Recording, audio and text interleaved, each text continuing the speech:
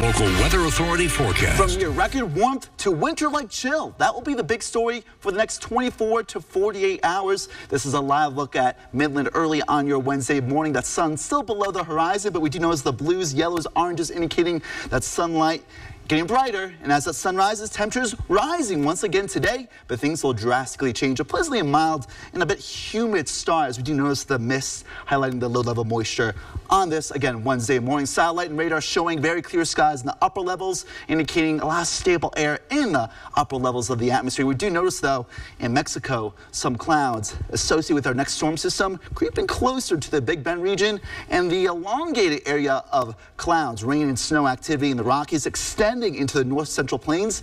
That is also getting closer to the basin, moving southward, combining with the clouds south of us. We'll see inclement weather, especially as we head late tonight into tomorrow. But for now, we're starting off pretty quietly, mild, mostly clear skies right now in Midland. 61 officially at the airport. 7-Eleven, that sun rises, that sun sets at 5.53. Despite the shorter days, Southwesterly winds continuously bringing in the above normal temperatures and also winds coming in a little bit from the west as well, allowing for not only the above normal temperatures, but also the drier air. However, it's a bit humid to start, 72% relative humidity right now. We'll see that humidity drop throughout the day. A bit more breezy in the northwestern parts of our viewing area from the Guadalupe Mountains to Carlsbad and Hobbs. Winds sustained at 20 to 30 miles per hour in these yellow to red colored areas, extending even into the basin from Wink to Midland, Odessa, winds sustained at 15 to 25 miles per hour throughout the day. Westerly winds drying out the atmosphere with still stagnant air and plenty of sunshine will be pretty warm.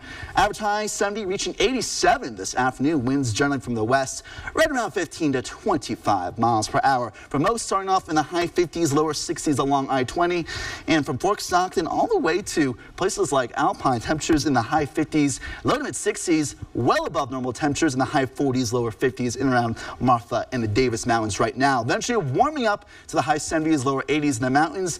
80s and low 90s elsewhere, slightly cooler by a couple degrees compared to yesterday. 86, 87 from Midland and Odessa to Big Spring, but then those Cooler colors move from north to south. Colder air in the 40s and low 50s by tomorrow morning. 50s and low 60s near the Rio Grande still by tomorrow morning, indicating that cold front will arrive later in the morning tomorrow morning. Before then, increasing clouds overnight. Temperatures in the 50s. Winds starting off from the west, and then switching from the north and east, gusting up to 30 miles per hour. We'll see, again, an incoming storm system from the southwest, combining with a cold front to produce rain. Those greens and yellows indicate heavier rainfall in the Big Bend region. And on the backside, some very chilly rain showers and snow showers in the mountains terrain. Mentioned getting close to our viewing area tomorrow. Very chilly. 58 during the early parts of the day, northeasterly winds cooling things off even more during the afternoon tomorrow. Still chilly Friday and the weekend. Slowly rebounding those temperatures will be as we head to by early next week.